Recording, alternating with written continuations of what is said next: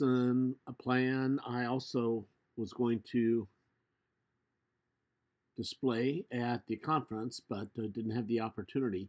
This is regarding looking at the Yuan and the Ming dynasties and the great creations uh, during China at this time and compare it with the Middle Ages because too often we look at the Middle Ages and we say how desperate times were, but it was not all around the world, only in Europe at the time. So this is the first of uh, several slides. So this is the cover page. This is where I give the directions on what the students need to put on the cover page.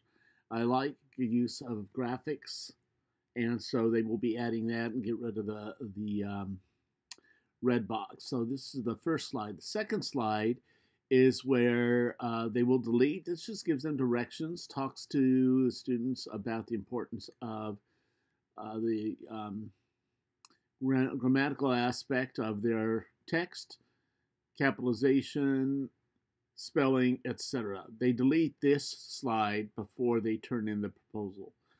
The next slide then is where the students would create a timeline similar to the one you see down here that I had proposed earlier in this uh, in my slideshow. This is where we will uh, put on the top aspect what was it like in Europe during the time from the 1200s to the 1500s. Give some data, the uh, number of people who perished, what part, etc.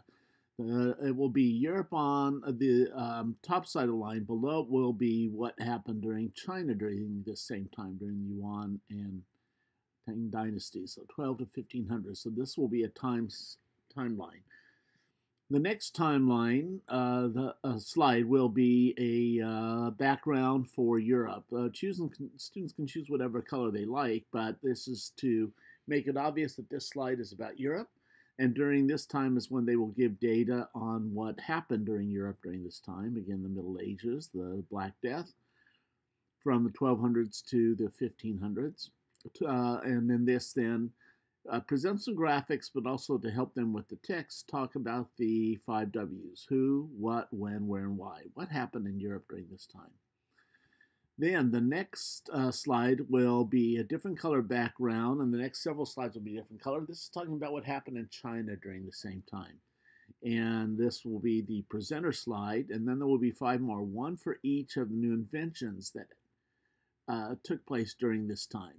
So this is, again, the first slide, and then slides 6, 7, 8, 9, and 10 will be uh, each one about the inventions. For example, gunpowder, woodblock printing, paper making, a compass, stern post rudder, etc.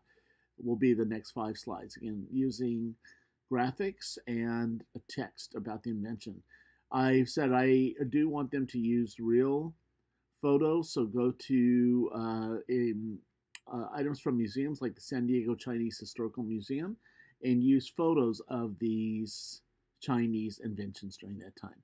So again, this is an experiment, but my point for this exercise is to compare one part of the world, Europe, with another, China, during the same time frame to show that times were different. Uh, um, time frames uh, were different from the 1200s to the 1500s.